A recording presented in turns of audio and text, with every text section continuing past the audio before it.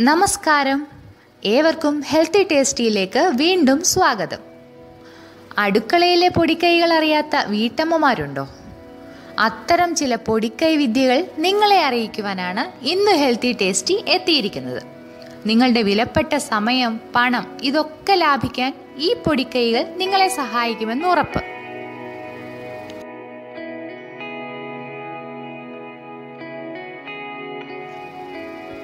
ചൂടുവെള്ളത്തിലിട്ട് വെച്ചാൽ പച്ചരി വേഗം കുതിർന്നു കിട്ടും.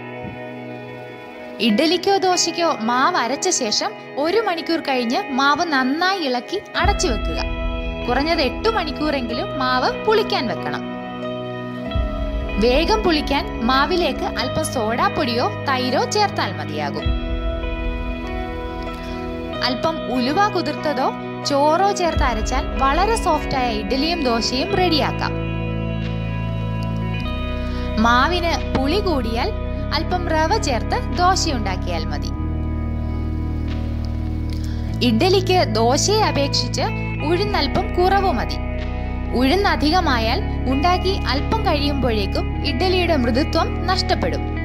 ഉഴുന്നിന്റെ രുചി മുന്നിൽ നിൽക്കുകയും ചെയ്യും.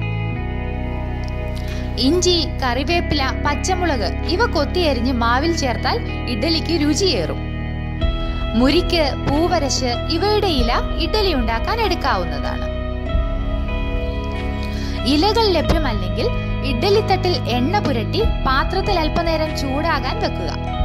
ചൂടായ തട്ടിലേക്ക് മാവൊഴിച്ച് ഇഡ്ഡലി ഉണ്ടാക്കിയാൽ ഇളക്കിയെടുക്കുമ്പോൾ തട്ടിൽ ഒട്ടിപ്പിടിക്കില്ല.